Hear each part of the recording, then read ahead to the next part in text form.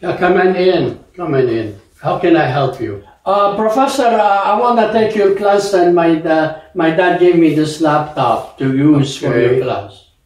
Okay, let me ask you a few questions about your laptop. Okay.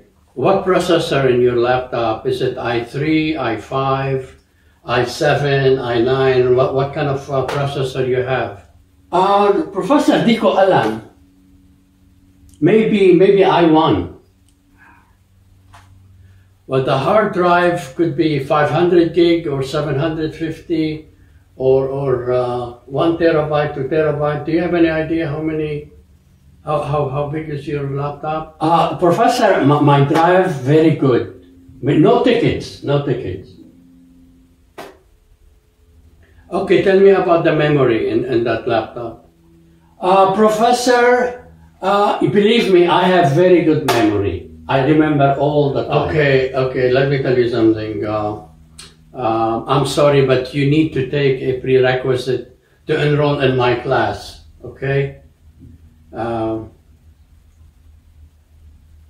Uh, okay, Professor, what the school I should go to? Okay, so you need to go to uh, Stephen Goes Academy for the dummies.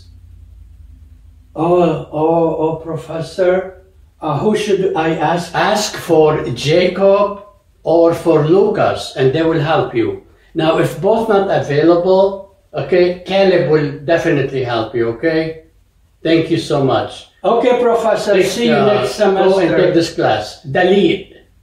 Bye.